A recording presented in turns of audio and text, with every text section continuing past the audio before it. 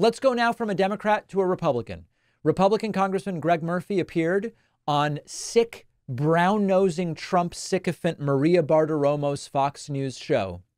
And he had the gall, the testicular fortitude, the audacity to say that Biden's state right now, his state of being, is like when Hitler was in his bunker, which of course culminated in Hitler taking his own life and that of Eva Braun. That's the analogy that uh, Murphy makes. Listen to this. And, and, and, what would you say about the path of some of these disorders? I mean, is this something that can be stable for a long time and, uh, you know, uh, even, even though, yeah. you, or does it progress worse? Well, it's, everybody's different with Parkinson's. Again, I'm not a Parkinson's physician, but I take care of older individuals. On his medicine list, there was not anything, something called L Dopa or some of the other things that we see, but we don't know if the list is really being true of medications that are there to control symptoms. We don't see the cogwheeling that we saw with Hitler in his final days. That's what they have when they have this tremor. And so I, I just think we're being lied to. There you go. It's sort of a, so you got to consider Hitler's condition in the bunker, but we're being lied to here. Listen, I've said it before and I'll say it again. If Biden has early stage Parkinson's, for which at this point we don't have any proof, there was one doctor, I think, that showed up on NBC and said, it sort of looks like very early stage Parkinson's. Uh, look up early stage and even second stage Parkinson's, and you will see that almost everyone with the earliest or the second earliest stage of Parkinson's can do just about everything that they were doing before. Am I going to, I don't believe at this time that I have the evidence to say Biden has Parkinson's. And remember, they did Hillary Parkinson's too, and that turned out to be false. But let's concede maybe Biden has early, early stage Parkinson's. So what? Look at what he's accomplished in his first term. Look at the fact that the alternative is a civilly liable rapist, convicted felon, anti democratic, authoritarian, fascist wannabe who said he'd be a dictator on day one.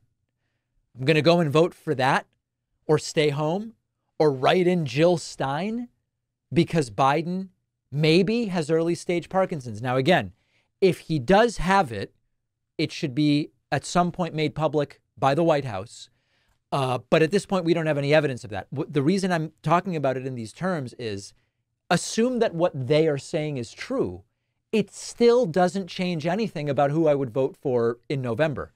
The question I have for you and I hope you'll write in info at davidpakman.com and tell me, is if it turned out that your options are Trump with everything we know to be true about him, and Biden with first stage uh, uh, uh, Parkinson's, then what? Then who do you vote for? How does that change what you believe is best for the country? And by the way, now I'm.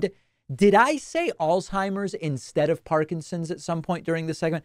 If I did, I've been meaning to talk about Parkinson's the entire time. Uh, let, me, let me clarify that. I'm, I'm now having one of those doubts where I'm like, did I misspeak during this? We're talking about first stage Parkinson's versus Trump. Does it make a difference to you in who you vote for? To me, it does not. Data brokers are constantly collecting huge amounts of information about what you do online, your address, phone number, email, financial info, even your political affiliation and they sell that information to other companies. The FBI will sometimes even buy data in bulk to get information about Americans without a warrant. Your ex girlfriend, your boss, anyone out there can use the publicly available data on search sites to find information about you. It's super easy. And worst of all, these data broker systems get hacked all the time, which really puts your data at risk, which is why you can end up getting scam calls and emails and the whole thing. The solution to all of this is our sponsor, Incogni.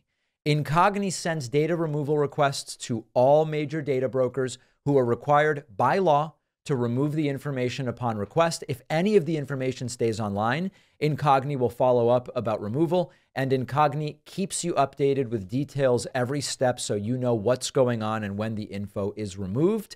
What Incogni can accomplish is amazing. I use it myself go to incogni.com slash Pakman and you'll get 60% off with the code Pakman. The link is down below.